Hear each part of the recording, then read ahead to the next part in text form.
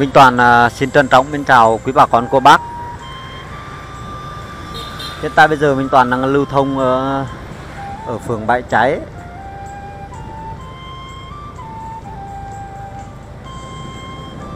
Ở đây là đường này là đường ờ, giếng đáy. Và như quý bà con ờ, biết ở giếng đáy này thì buổi tối hiện giờ là cũng rất là vắng người chứ không đông người.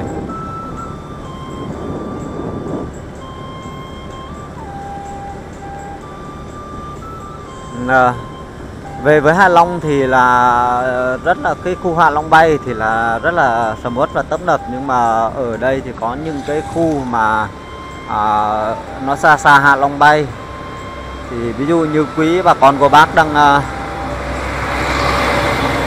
đang nhìn thấy đây là cái nhà tăng lễ của thành phố Hạ Long. Còn trước mặt quý bà con cái nhà cao tầng này là cái bệnh viện của bãi cháy. Đây, bệnh viện bãi cháy đây là phía đằng sau rồi.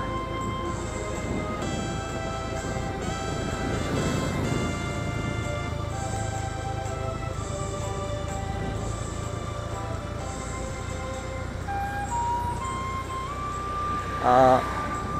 Hôm nay Minh Toàn ờ, đi quay ờ, cái video này cũng ờ, muốn gửi đến quý bà con cô bác về những cái cảnh của Hạ Long không phải là sầm uất mà rất là bình yên.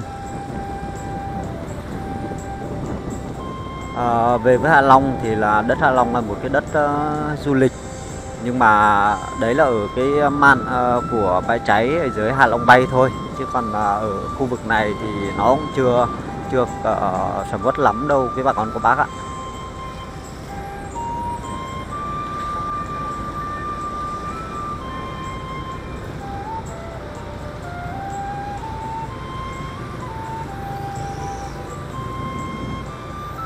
Và chúng ta đang lưu thông ở trên cái trục đường giếng đáy. Ờ, à, Minh Toàn lưu thông từ à, đây là chúng ta nếu mà chúng ta đi thẳng là lên à, giếng trời và à, hoành bồ.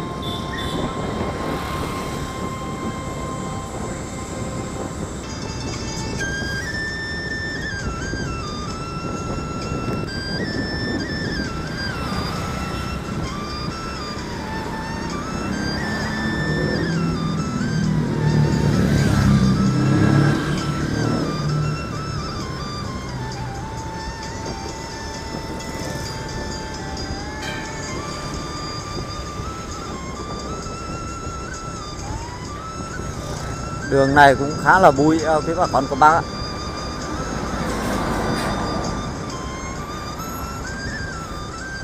Về với Hạ Long mùa này thì quý bà con cô bác có, đây không phải là mùa du lịch mà nên mà người ta xây dựng rất là nhiều, kể cả dưới Hạ Long bay thì ờ, cũng là cái mùa xây dựng của ờ, các cái khu du lịch đấy. Thành ra quý bà con cô bác khi mà bây giờ mà về Hạ Long là rất là bụi.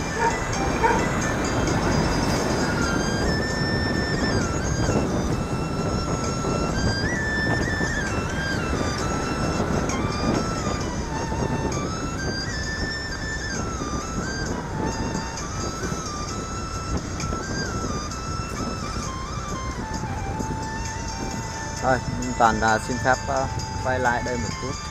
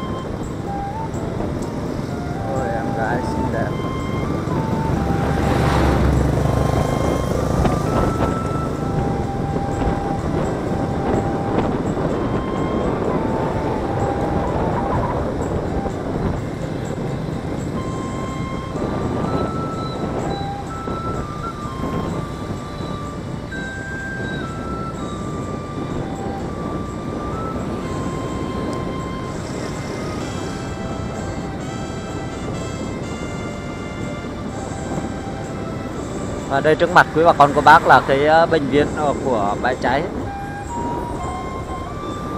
Đây, đây là bệnh viện của bãi cháy.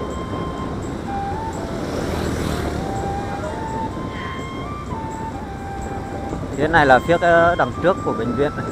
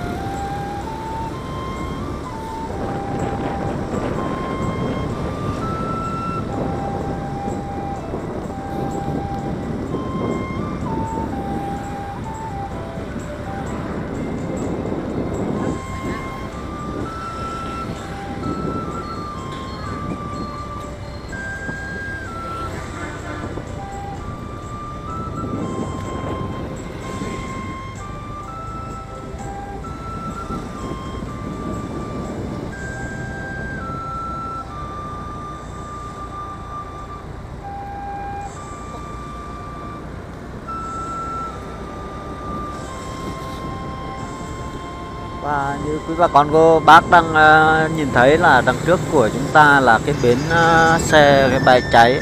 Đây, đây là bến xe của bãi cháy.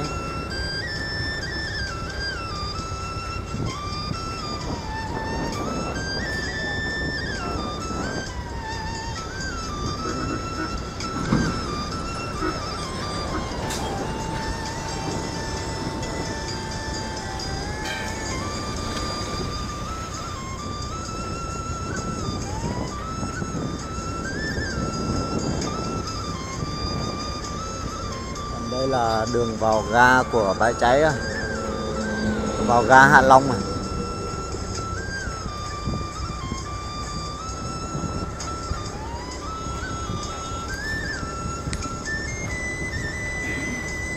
Nói chung trên ờ, cái trục đường ờ, này thì là không không có gì sầm uất và nổi bật cả chỉ có ở dưới khu Hạ Long Bay mới là có những cái ờ, điểm mà buổi tối khá là đẹp.